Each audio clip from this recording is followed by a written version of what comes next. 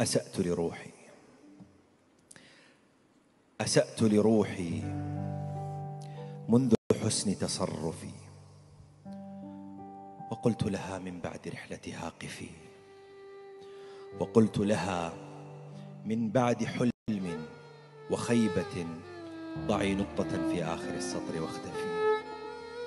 فما بين جلدي والعظام وخافقي منازل تقري الضيف لحم تعففي أؤذن في الناجين حي على دم توزع حتى سال في كل موقف. فإن لم أقشر جلدة الأرض راجلا فلست أنا عبد اللطيف بن يوسف.